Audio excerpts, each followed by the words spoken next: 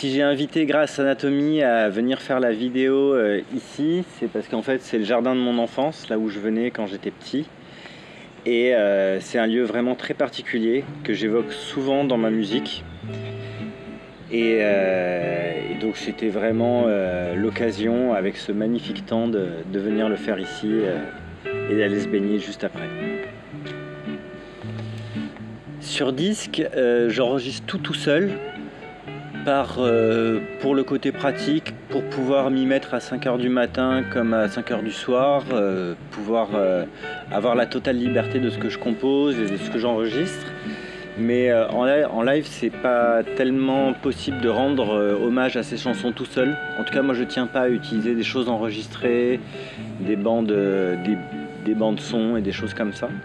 Donc en live, je suis accompagné par Hugo Berrouet, avec qui je fais de la musique depuis plus d'une quinzaine d'années, qui à la base est batteur, qui jouait très bien de la guitare, mais pour lui, mais il, jouait rarement en groupe de la guitare. Et euh, ça a été un vrai challenge pour lui que d'apprendre mon répertoire et euh, d'apprendre toutes ces chansons pour pouvoir m'accompagner sur scène.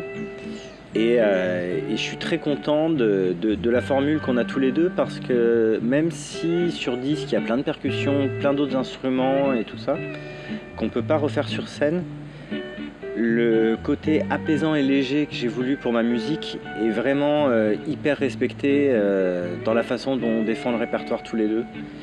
Et je le remercie beaucoup pour ça parce qu'il est très attentif à cet aspect des choses.